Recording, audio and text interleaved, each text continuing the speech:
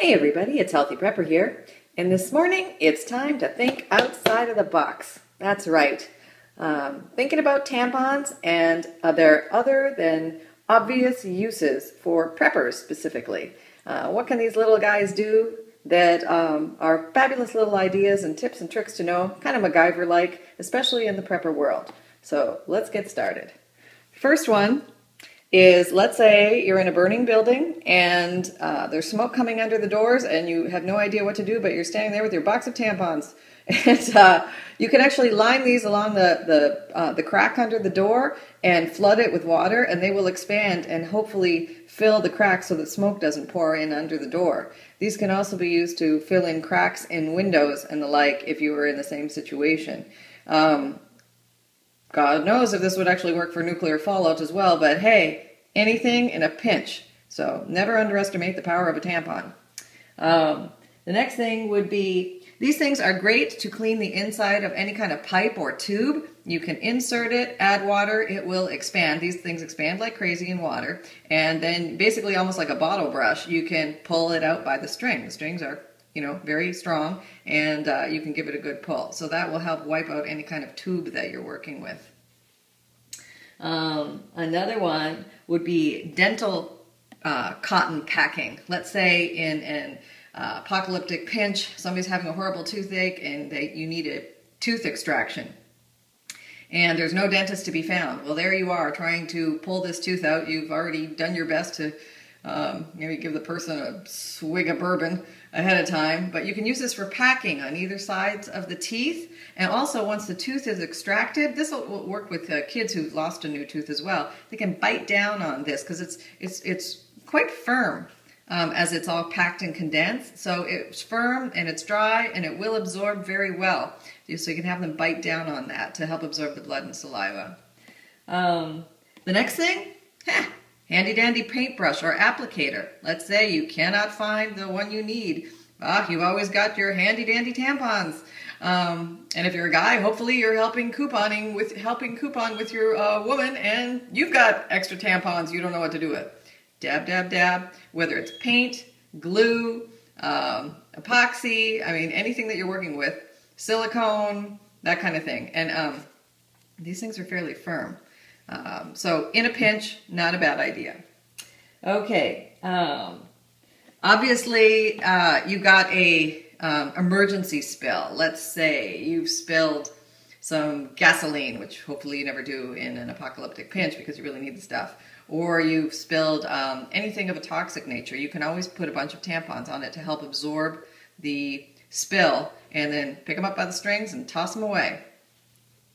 Um, a very crude toothbrush. I know, gross, disgusting. This is in worst case scenarios. So it's firm enough and it'll fit in the mouth, so it will work in a pinch. Now you might even want to use a smaller one for that, just because it might be a little bit more comfortable. But um, either way, another function. And then another one would be, um, oh, okay, so uh, this might be able to act as a filter, a very crude filter, a water filter in um, emergency situations.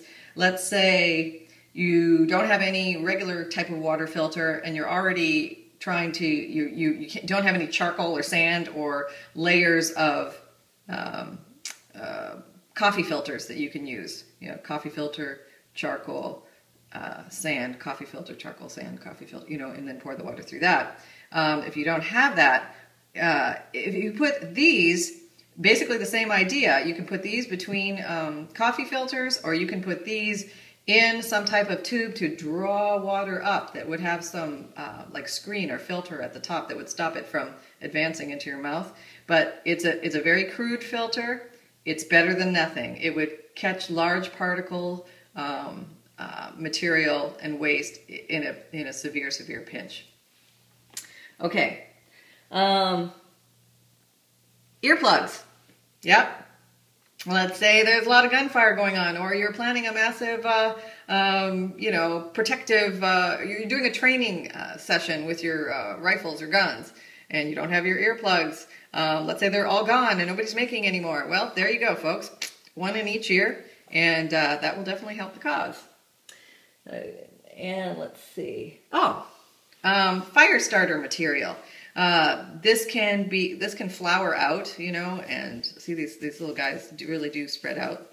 Um, and you can tear this stuff apart and um, use it as fire starter. Mix it with a little bit of uh, petroleum jelly. Makes a great little fire starter. You can roll these up, or you can leave them as is. Dip them in petroleum jelly and put them in a little wax or a little um, Ziploc baggie, and put them in your um, bug out bag or uh, you know anywhere you might need emergency fire starting. Um, how about the uh, the car trunk? Uh, you know, sealed up, of course.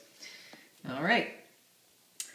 Um, and uh, obviously, you can also use them for some type of compression bandage. If you have a, a, large gaping, not large, this not larger than this, but some type of gaping wound, and uh, you're not able to put it together, you can open up a tampon and place it on there, compress, put pressure on it, and that will help um, absorb, dry, and uh, keep it clean because these are sanitary sanitary napkins. You know, okay. Um, and the all world famous um, stop nosebleeds. That's right. Um, your little gipper's been too much picking, been picking too much, or what have you not.